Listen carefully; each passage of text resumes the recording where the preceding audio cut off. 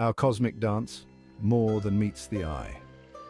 We often picture our solar system as a stately affair, with the sun at the center and the planets gracefully waltzing around it.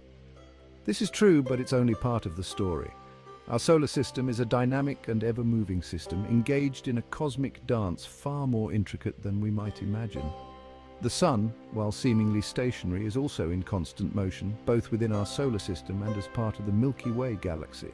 We learn early on that the Earth and other planets orbit the Sun. This is a fundamental concept in astronomy. But what is often overlooked is that the Sun itself is not fixed in space. It too is on the move.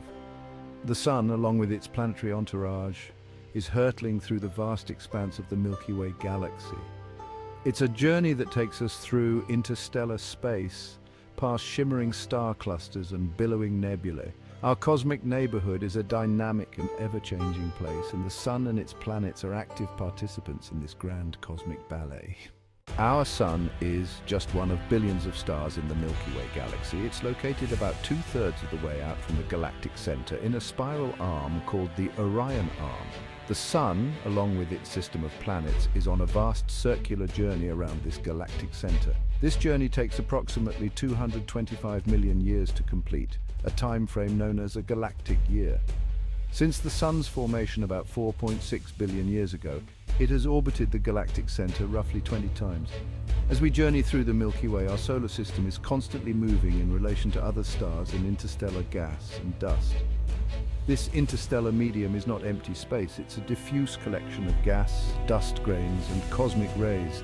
Our solar system plows through this medium, creating a bow shock, much like a boat moving through water. From our vantage point on Earth, the Sun appears to move across the sky each day. This apparent motion is due to the Earth's rotation on its axis. As our planet spins, the Sun appears to rise in the east, arc across the sky and set in the west. This daily cycle of day and night is a fundamental rhythm of life on Earth. It governs everything from our sleep-wake patterns to the behavior of plants and animals. But it's important to remember that this apparent motion of the Sun is an illusion caused by our own planet's rotation. In addition to the Sun's daily apparent motion, there's also an annual change in its position in the sky. This change is due to the Earth's revolution around the Sun.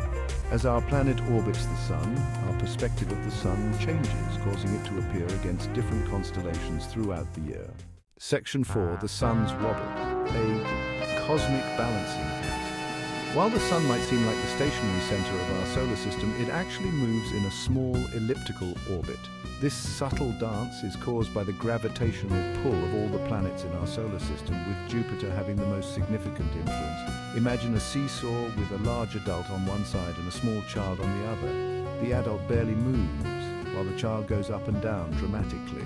In our solar system, the Sun is the adult and the planets are the children.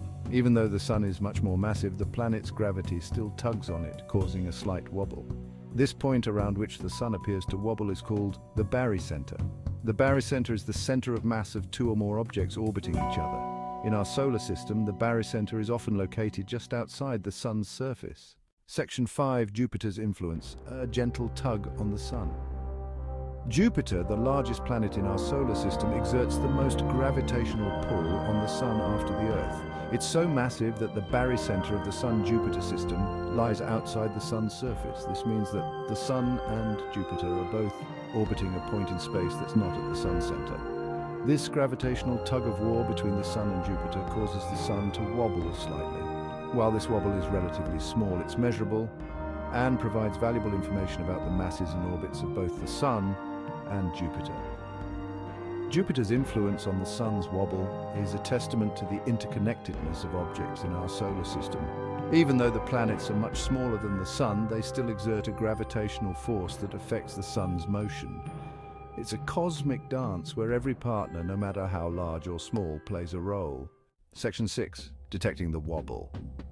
The Doppler shift in action.